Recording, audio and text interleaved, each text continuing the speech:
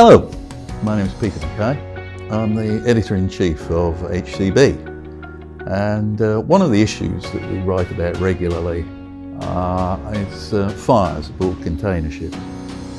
And what I'm doing today is uh, finding out more from somebody who, who, knows more about this than most people I know, and that's Peregrine Storrs-Fox, uh, Risk Management Director of the TT Club. Peregrine, hello.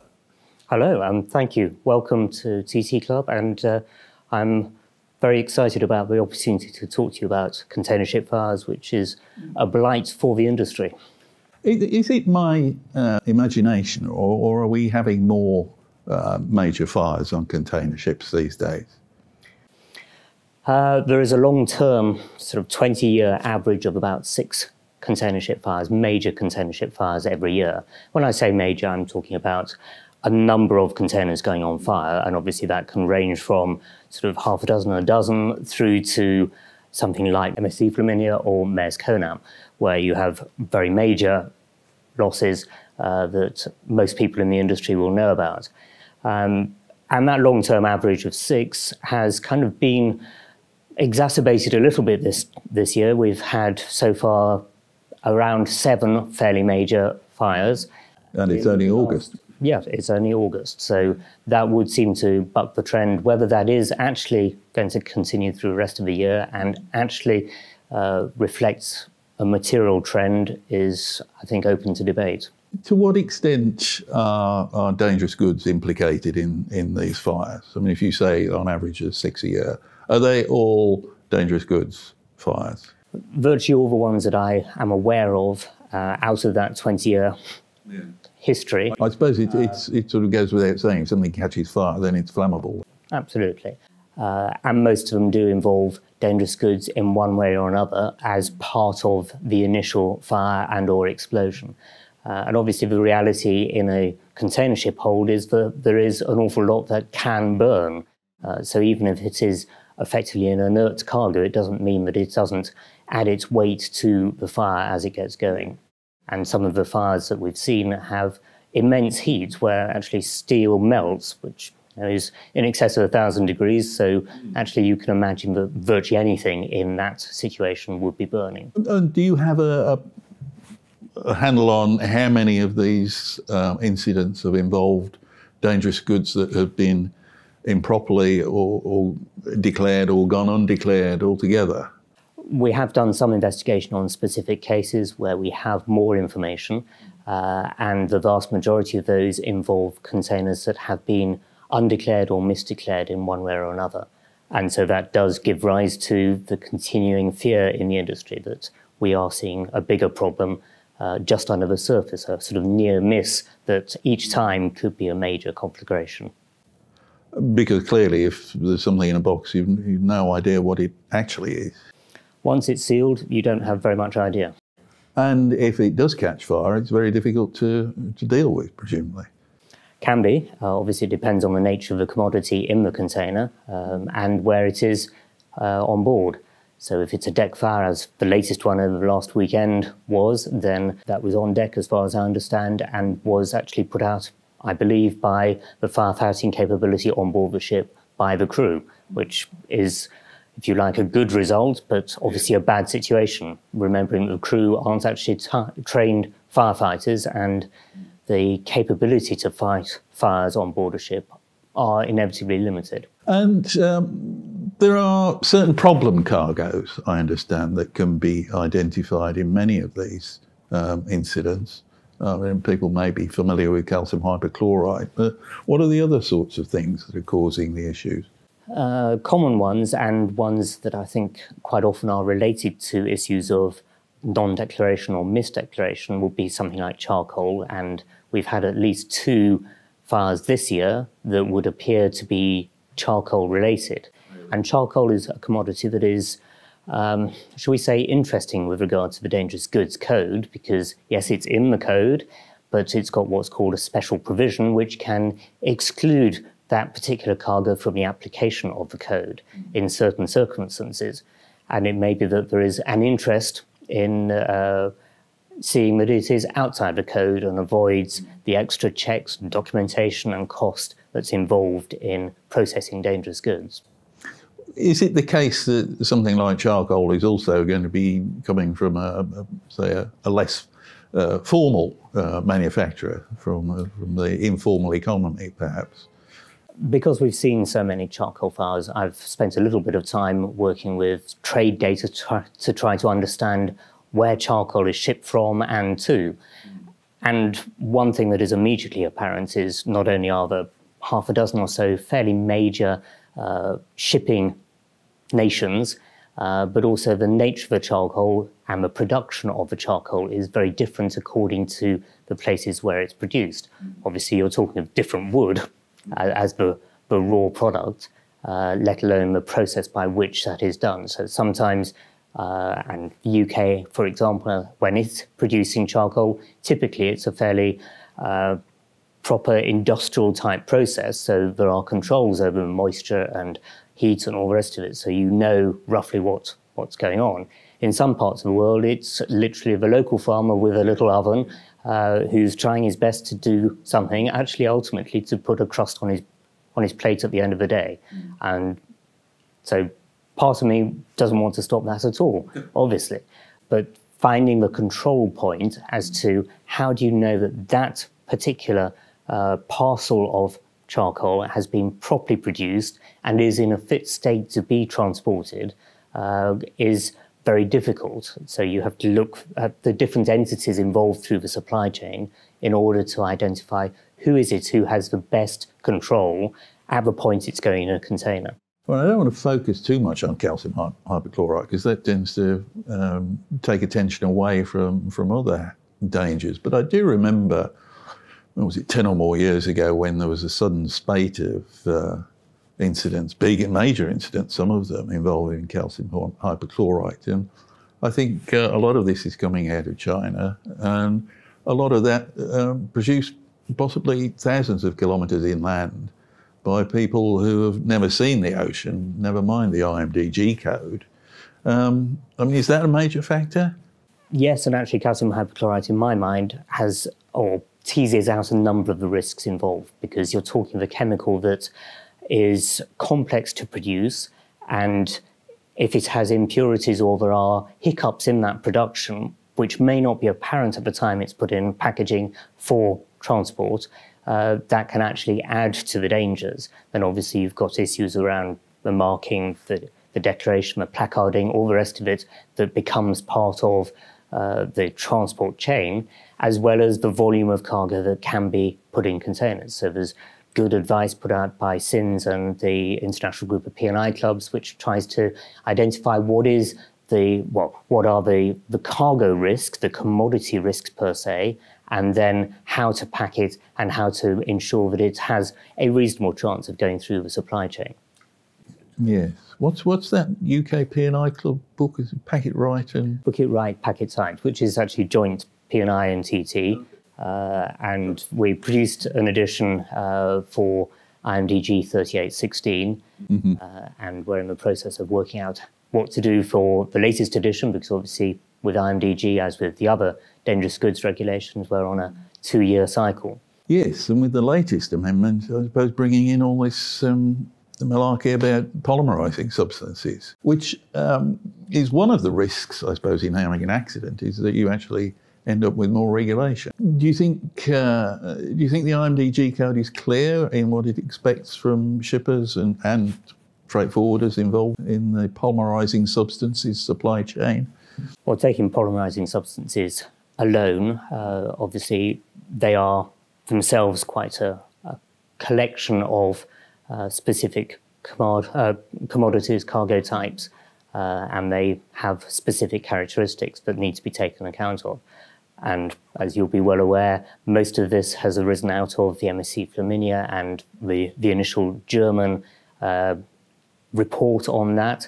And then that actually led to changes uh, in IMDG, and then there have been subsequent changes that come in next January uh, on 38, 20, uh, 3918, the right numbers, um, which becomes force of law January 2020.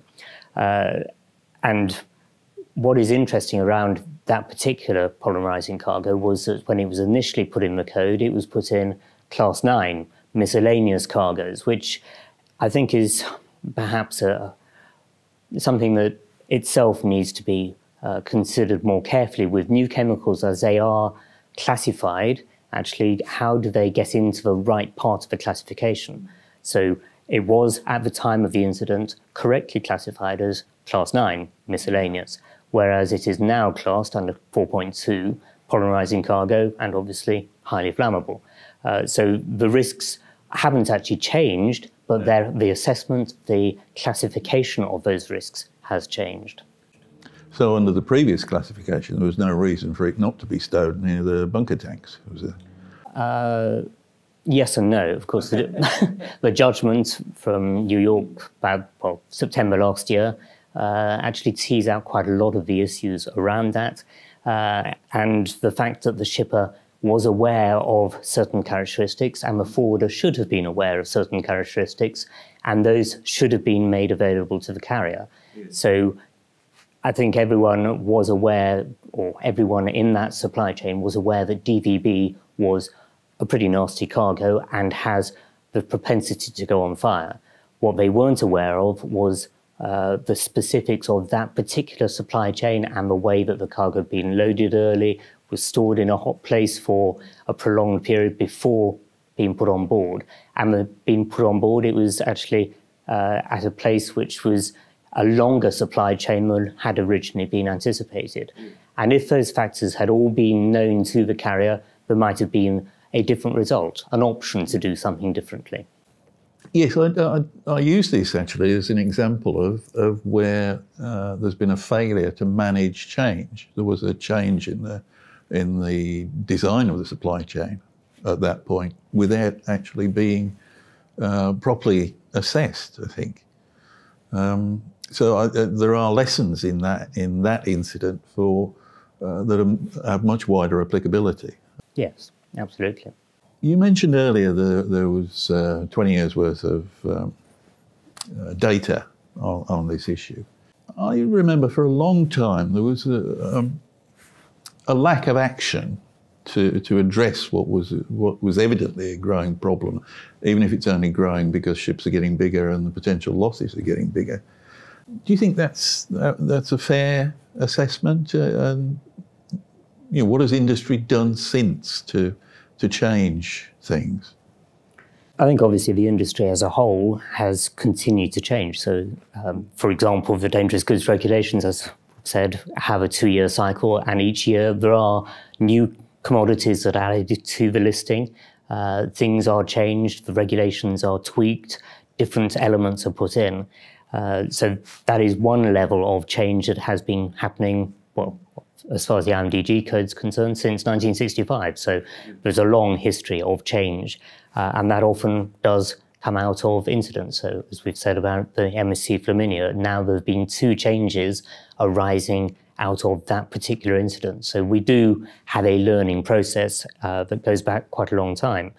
Uh, equally, we mentioned calcium hypochlorite, and there was quite a lot of profile given to that in the 90s as we had a spate of incidents, and that led to advice from uh, the P&I clubs. There was work that went through uh, the IMO, and that has carried on. More recently, perhaps, uh, and perhaps more significantly, uh, the lines have sought to collaborate with regard to safety incidents. And this goes back to about 2011 when CINS Cargo Incident Notification System Network was first put in place. Uh, so five major lines got together to uh, work on a more collaborative basis. And that was uh, looking fundamentally at capturing low level incidents. And for me, this is a major component of trying to learn. So, although we have this history of major incidents, for me, it's much more significant to get hold of what we might term as near misses or low level incidents that are not just causing disruption, but have the potential each time to be a much more major incident. So, CINS started to develop this database of incidents, and they are continuing to capture those. And it's across the board. It isn't just dangerous goods. It's all type uh, of cargo or container right type of incidents that lead to some form of disruption on board or indeed on land. Uh, and that's then analysed to see well what can we learn from those? What sort of trends are we seeing? Are we seeing commodities from a particular area of the world giving rise to more of a problem? Or are we seeing whatever it is that needs to be changed in regulation and then that would go through the, the channels towards IMO. And obviously, there are NGOs as well as governments who are responsible for bringing those sorts of initiatives forward. So, are there any sort of um, indicators of you know sources of hazard? Um, you know, where where are the risks coming from, or what what, what are they involved? Is there, is CINSNet throwing up that information yet? Certainly, CINS and, and others have, uh, by focusing on some of the more major types of problem commodities. They've been able to list those, and so charcoal, calcium hypochlorite amongst those inevitably.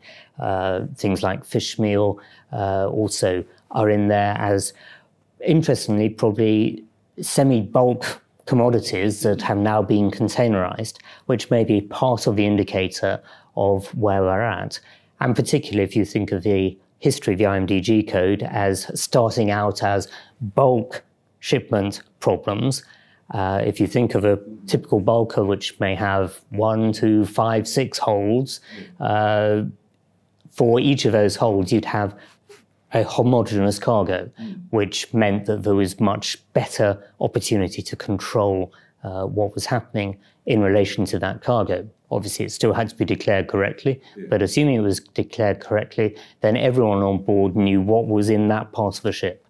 Whereas obviously on a container ship, you have thousands of containers in every hold. So the MSC Flaminia or Maersk Honam, in the area of the fire, you're talking of the best part of 3,000 containers that are damaged as a result of the fire. And each one of those not only could have one different commodity, but may, if it's consolidated box, have literally 100 or more commodities in that one container. Yeah. So it's one package within one container within a hold that can cause those sorts of problems.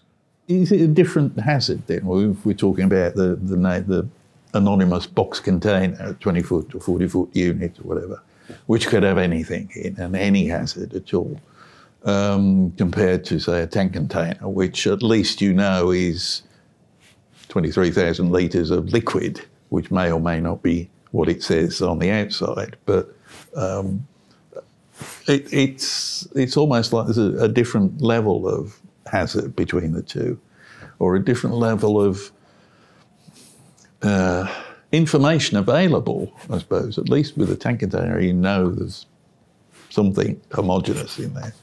Yeah, certainly tank containers uh, are generally homogeneous and uh, would be uh, more able to be controlled as long as they were on their own. But mm. once they get in a hold and you've got hundreds of other containers around them yeah. uh, that could be either impacted by some venting or leakage, even, uh, or themselves may give an impact to that container. So, may in a fire situation that can start somewhere else, but heat up the tank container and cause a problem. Yes, and, and there seems to be a constant um, feature of these incidents that um, despite the fact that um, cargo manifests and, and information is, seems to be available, there is, it's very difficult to get a handle on what's involved in the fire. Um, uh, is there any prospect that application of digital technologies or new IT might help us in this regard, do you think?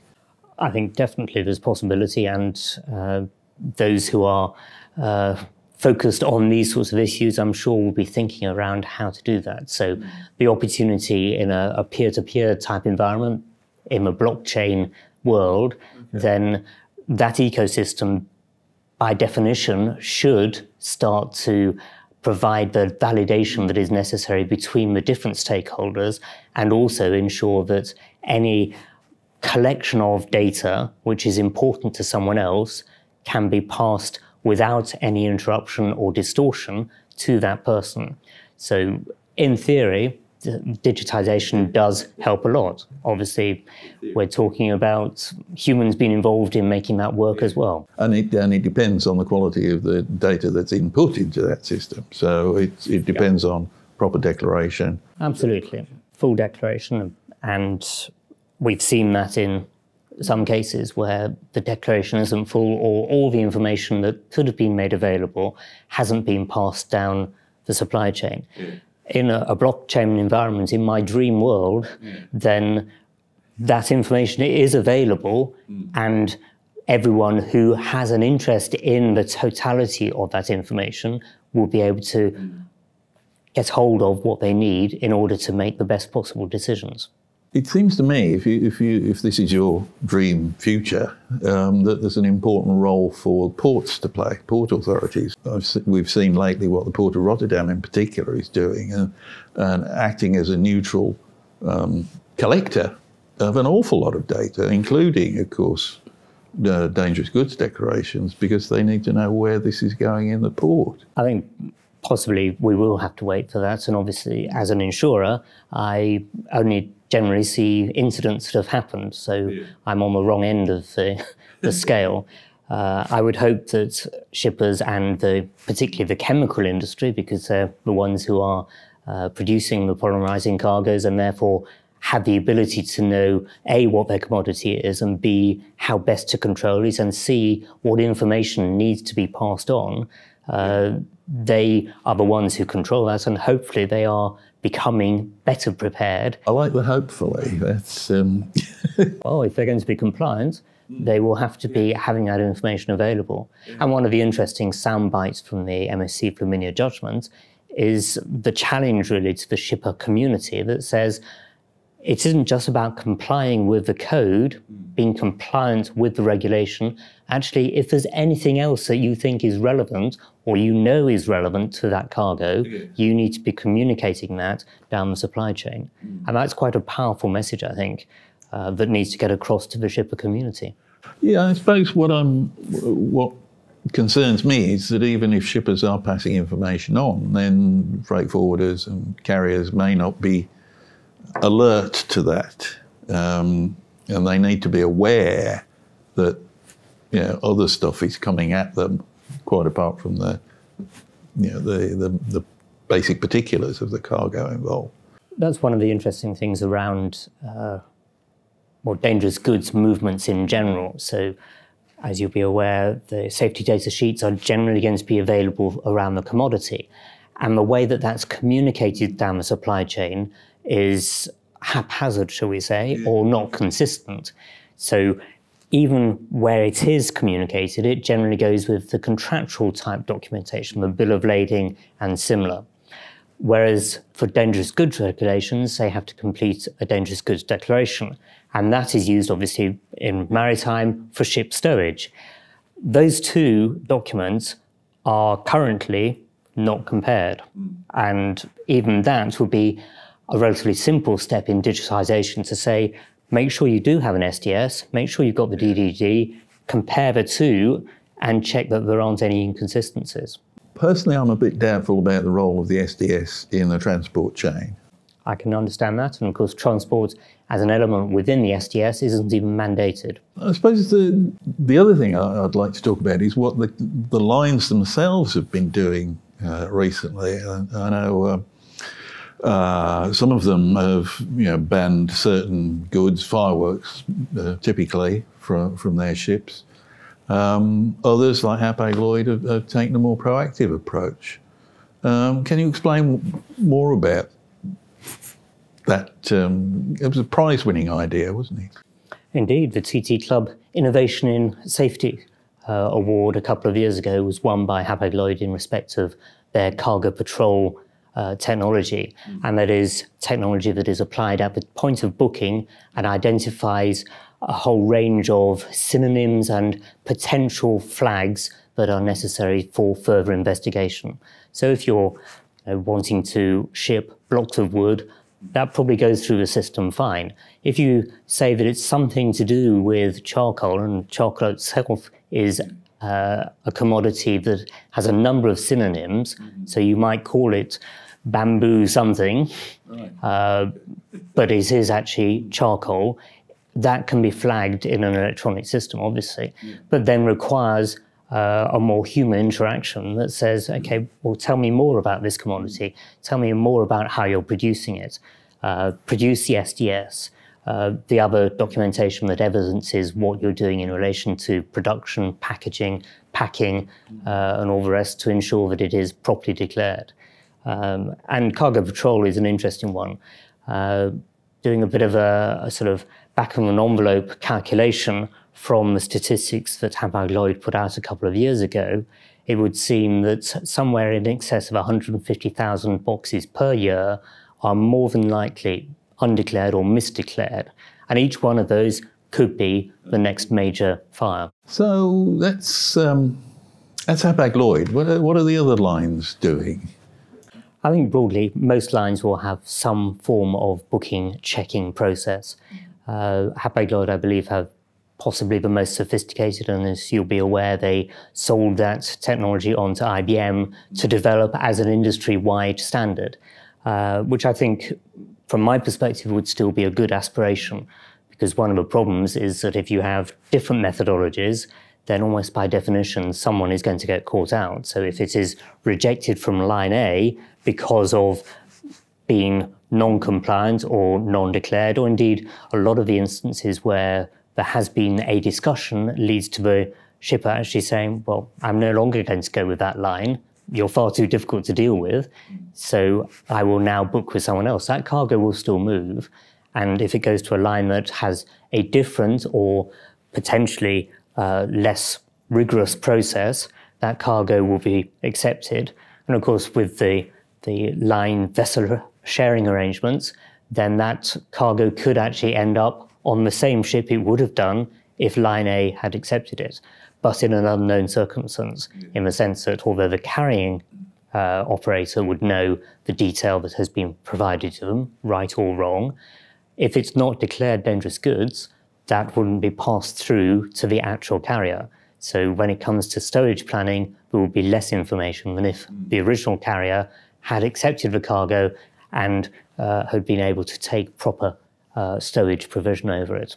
Which brings us back to the, the thorny topic of, of restrictions um, in terms of vessel loading, in terms of um, you know uh, routing as well. Indeed, and that's another layer of complexity in the, the modern supply chain.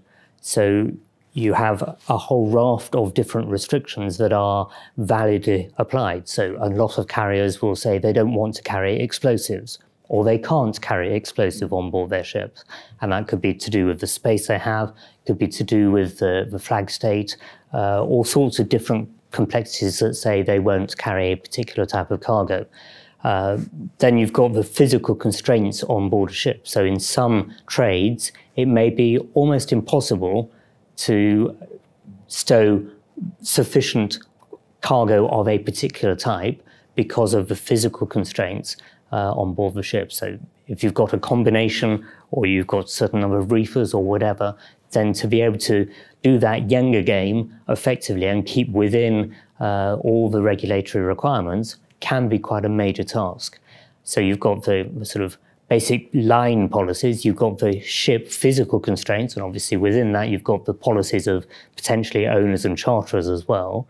Uh, and then you've got the, the port rotations. So on a typical supply chain, you will have a dozen or more ports between the port of loading and the final port of discharge. And each one of those ports will apply their own restrictions to certain cargo, and not just applying to the cargo that's landed or even transshipped, but sometimes to the cargo that is left on board, is not moving at all within the port, but the port uh, says that they will not allow that to go through their ports as a transit at all. And of course, from an operator's point of view, you don't want to get caught out because you don't want your ship delayed because of breaching regulations in any given port. Yeah, that costs money costs a lot of money and a lot of complexity. I mean, it's something I hear quite a lot from shippers that they um, feel that even when they've properly declared, they're classified and declared and packaged and packed uh, their cargo and, the, and, it still won't go Um, and it's almost like it's an encouragement to hide it and, and not declare it. Is there any evidence that that's uh, uh, something that's going on? There's certainly been some evidence historically. Um, so calcium hypochlorite, that all too popular cargo. Uh, there has been demonstrable evidence that uh, certain shippers and even certain forwarders have said openly, if you call it something else, then it will get through the supply chain rather than calling it calcium hypochlorite. Um, and that is both disappointing and obviously fraudulent, criminal. Uh, but it's something that is inevitable, I think, where there are restrictions, because the cargo, ostensibly at least in a trade, has to move from point A to point Z. Uh, therefore, if there is a restriction on one line or one routing, uh, then either you find another line and another routing, or yes, inevitably human nature will be to try to find uh, something else you can call it. Yes. With fireworks, it used to be children's toys, wasn't it? I think. Yes, I've heard that one. Um, got the lines now looking during the acceptance process at, at what, at where cargo might be hiding, misdeclared or undeclared. Are they doing anything practical in terms of um, uh, cargo inspection, um, either ahead or during loading? Yes, yes, they are.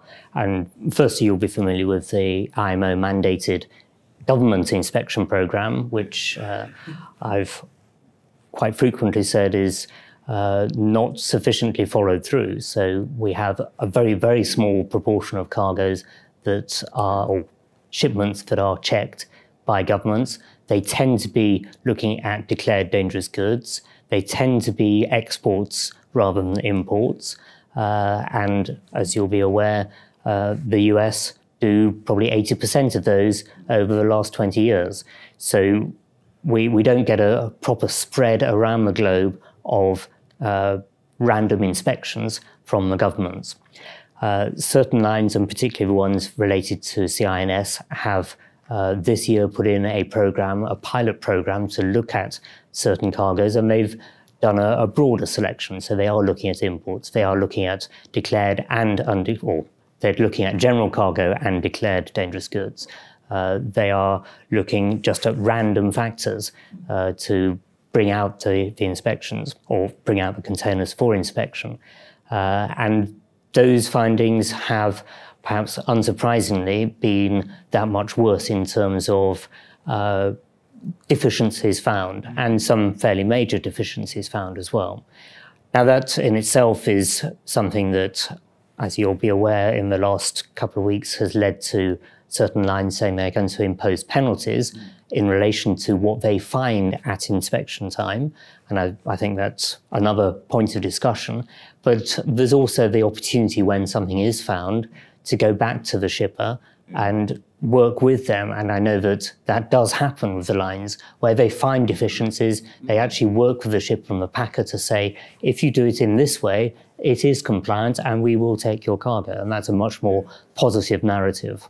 Yes, and probably easier than trying to winkle $35,000 out of a, a shipper who, who hasn't complied. It may be a both and. And of course, the, I've said to many lines over the years that they have the bill of lading conditions that allow them already to charge such penalties and the provisions also to enforce some level of collection. It becomes a commercial matter, obviously, as to how they do that. Uh, and we don't need to go there, but the provisions are already in place. Uh, and to see them being used or being announced that they will be used as a deterrent is actually a very positive move and does bolster any inspection program that says not only are we going to inspect cargo and potentially have that discussion as to how to ensure that compliance is achieved for future, but also actually go back to the shipper and say, well, you are going to be charged for this mm. one. It has actually cost us more to do the inspection, to take that container out of a supply chain, do all sorts of additional checks. So there are costs that the lines are incurring. So in that sense, it's not unreasonable that they have some sort of penalty mechanism to recoup those costs. Do you think that uh, inspection program will, will continue? Is that going to be an ongoing uh, policy? Certainly, the lines that have been closely involved in it have found positive benefit, and I believe they are wanting to continue. Okay. Well, I suppose if they are finding misdeclared cargo, then that's a potential incident saved. Yeah. yeah. Absolutely. And I think that where they found that and the opportunity to work with shippers and packers proactively, uh, not only is it preventing the risk uh, materializing, but also it's helping to improve the entire supply chain. Because whilst we see these as ship fires, every one of these could be a fire in a port area, and we've seen those, or it could be a single incident on a road or railway. And each of those, in terms of the, the entirety of the supply chain, is of significance. Um, we spoke earlier about the, the role of TT Club and um, as, as uh, an insurer, but also there's a great deal of knowledge and expertise within the club.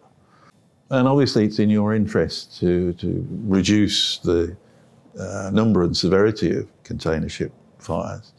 What, what's TT done um, to, to help its members, let's say, uh, address these issues? Well, I guess first point is that over the years, TT Club, amongst a number of other insurers, have taken a lot of effort to publicise incidents and try to uh, show what good practice looks like, uh, whether it's in guidance, the book it right, packet type, type documentation that says here is something important for you to take account of. And we have our own publications, what we call stop loss publications, and also some handbooks that look at a variety of the risks that we've seen. So we look to uh, extract the information that we're getting on the claim side and play it back with some additional advice. So that's a, a general uh, process that's been going on for, for years. Um, more recently, uh, TT Club has been collaborating with other industry partners to try to promote good practice in terms of cargo packing. And we call this cargo integrity or hashtag fit for freight, uh, which is trying to identify there is uh, a fitness to put things in the freight supply chain. Uh, and where that happens, then things can be expected to have a good outcome. Where they're not done consistently, uh, then there can be problems. And that in, applies not just to dangerous goods and the specifics around declaration or marking, placarding, or the rest of it, but around basic uh, ways that cargo is packed, whether it's eccentrically loaded, whether it's properly secured. Uh, obviously, humidity can impact uh, packaging, and that needs to be taken account of depending on the journey that's going on. So we particularly go back to the CTU code, which the IMO, yeah. ILO, UNECE agreed uh, through their processes in 2014. And that isn't the first time, obviously. There have been lots of iterations of guidance that have been put through internationally.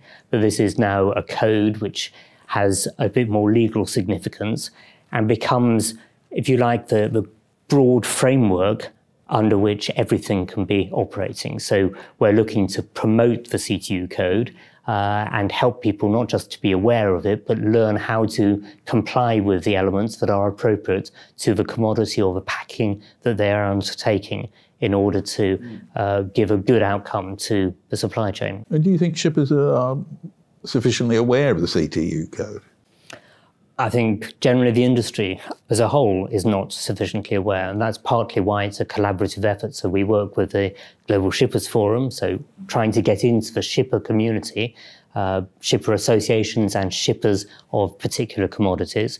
We're working with ICHCA, uh, who are obviously looking more specifically at the port and terminal interface, working with World Shipping Council, and then recently this year we started working with CINS as well, drawing their uh, influence in, and loosely also with some of the uh, competent authorities and other NGOs who are interested in shipping.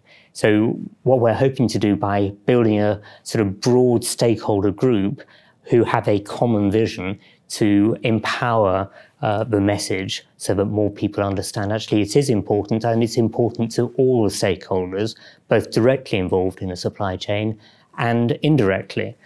And I think indirectly is one of the interesting parts of our, our outreach. Uh, so earlier this year, we were talking to customs authorities and saying, actually, when you see something that causes you concern on the customs side, it quite often is going to be causing concern on the safety side. So let's start to have a bit more of a dialogue instead of this sort of silo approach, mm. try to understand actually if something's going, gone wrong here, it's more than likely going to go wrong somewhere else for some other stakeholder who may not be involved in the direct trade supply chain, uh, but will have an influence over the way things are done. And that's been quite a useful dialogue.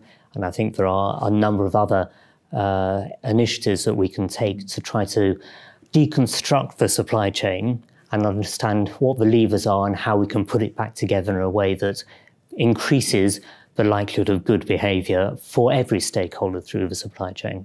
So, and, and if we can do that, then you will hoover up the dangerous goods as well. Absolutely. Dangerous goods are inherently part of the entirety, and it depends who you talk to as to what level that is.